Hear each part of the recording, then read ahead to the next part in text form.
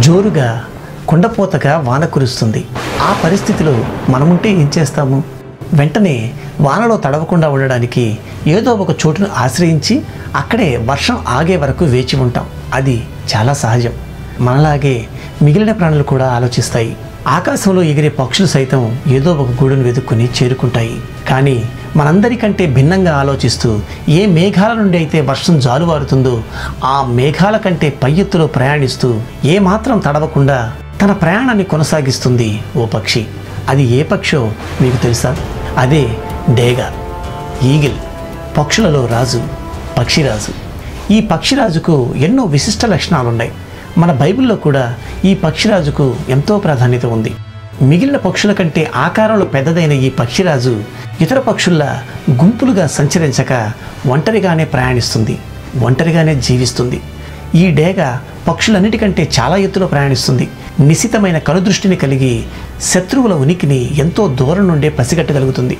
సహజంగా అన్ని పక్షులు గాలిలో రెక్కలు చాపి వాటిని ఆడిస్తూ తద్వారా వచ్చే గాలి ద్వారా ఎగురుతూ ప్రయాణిస్తాయి. కానీ ఈ డేగ కేవలం రెక్కలు చాపి వాటిని ఊపకుండానే గాలిని గ్రహిస్తూ తన ప్రయాణాన్ని కొనసాగించడమే కాక అత్యంత వేగంగానూ దూసుకెడుతుంది. చనిపోయిన కళేబరాన్ని కానీ చచ్చి పడి ఉన్నదాన్ని కానీ ఆహారంగా ముట్టదు. పరాన్న జీవిలా కాక తనకు తాను స్వయంగా ఆహారాన్ని వేటాడి సంపాదించుకుని తింటుంది. తుఫాను వరద వంటి భీభత్సాలను ధైర్యంగా ఎదుర్కొంటుంది. మరీ ముఖ్యంగా తన సహచరిగా లేదా సహచరునిగా ఒకరినే ఎంచుకుంటుంది. వారితోనే జీవితాన్ని పంచుకుంటుంది. తాను పొదిగిన గ్రుడ్లను ఎత్తైన కొండ శిఖర ప్రాంతానికి తీసుకువెళ్ళి సురక్షితమైన చోటున వాటిని ఉంచి ముళ్ళు కలిగిన పుల్లలతో గూడు కట్టి రక్షణ అందిస్తుంది. తన పిల్లలకు కూడా తానే ఆహారాన్ని సంపాదించుకుని వచ్చి వాటిని పోషిస్తుంది.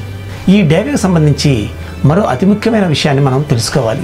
ఈ డేగ జీవితకాలం సుమారు డెబ్బై సంవత్సరాలు. కానీ దీనికి నలభై సంవత్సరాల వయసు వచ్చేప్పటికీ ఈకలు దట్టంగా పెరిగి శరీరం బరువెక్కి ఎగిరే శక్తి సన్నగిల్లుతుంది.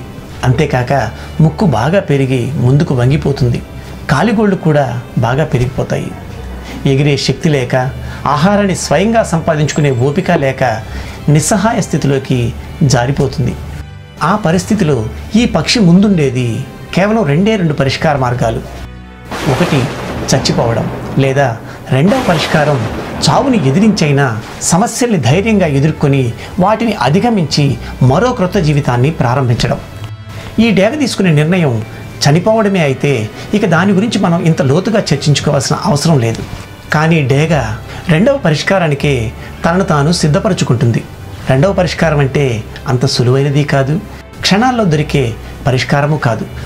సుదీర్ఘకాలం పరిశ్రమ తనను తాను హింసించుకోవాలి. మరణపు టంచుల వరకు ప్రయాణించాలి.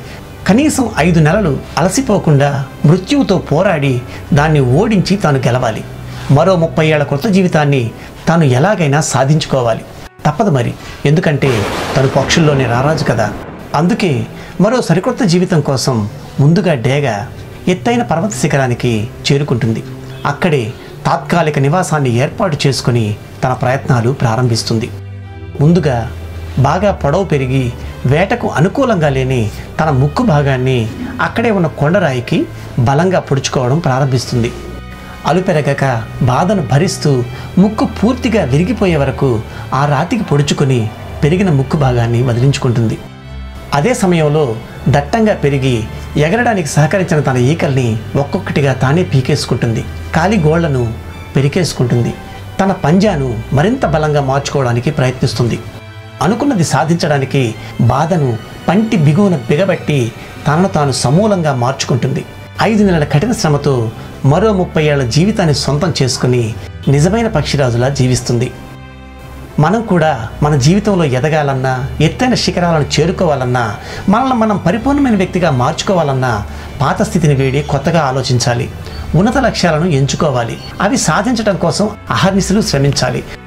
అప్పుడు లక్ష్యం నీ ముందు తల వంచుతుంది అద్భుతమైన ఫలితాలను నీకు అందిస్తుంది.